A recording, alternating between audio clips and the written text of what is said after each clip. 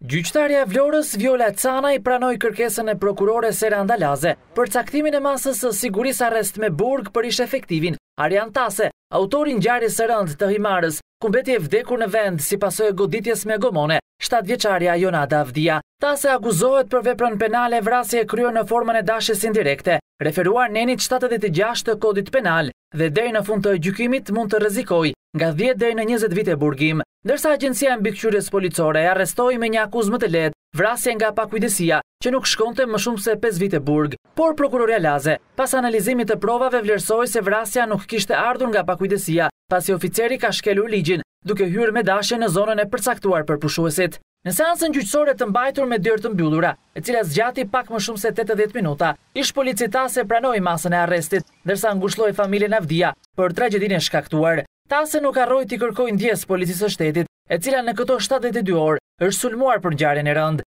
Nuk dua të mbrohem dhe nuk do të pretendoj asnjë rrethanë lehtësuese. Dua t'u kërkoj ndjesë edhe të gjithë kolegëve të Policisë së Shtetit të prekur nga kjo situatë. Nuk duhet të ndodhte kurrsesi, por fati im i keq. Ngushëllime familjarëve. Në skaf isha me nënën dhe djalin tim të vogël. Në det ishte gruaja me djalin e madh, motra me dy fëmijët. Nëse skafi do të ishte rrotulluar në anën e kundërt, do të kisha vrarë familjen time.